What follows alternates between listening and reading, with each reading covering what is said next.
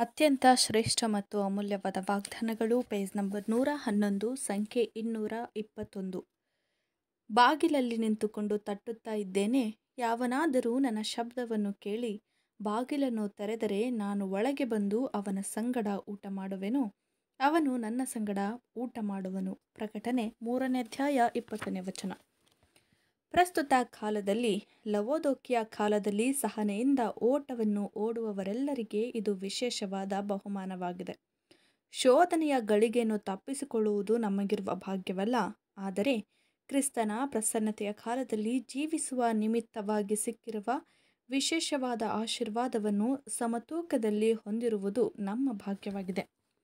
ನಾವು ಆತನ ಅನುನ್ಯತಿಲಿರಬಹುದು, ಆತನ ಬೋಧನೆಯನ್ನು ಕೇಳಬಹುದು.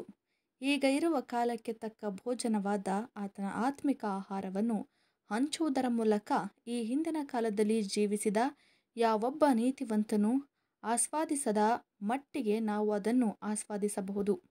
ಆದರೆ ನಾವು ನಿರೀಕ್ಷಿಸುವಂತೆ ಈ ಶ್ರೇಷ್ಠ ಅನುಗ್ರಹಕ್ಕೆ ಅನುಗುಣವಾಗಿ ಗೂಢತೆಗಳುಳ್ಳ ತೀಕ್ಷ್ಣವಾದ ಪ್ರಲೋಭನ ಕಾಲದಲ್ಲಿ ಪರೀಕ್ಷೆಗಳು ಈ ಭೂಲೋಕದ ಮೇಲೆ ಬರುವುದಾಗಿದೆ.